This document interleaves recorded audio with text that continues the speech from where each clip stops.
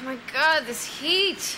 When is Jim gonna be done fixing the air conditioner? Oh, soon, I hope. Mommy, is this what hell is like? No, honey, there's no popsicles there. Oh, oh man.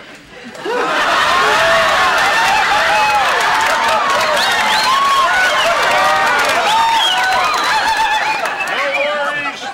The AC is fixed. We're in business. Oh. Get ready to be cool.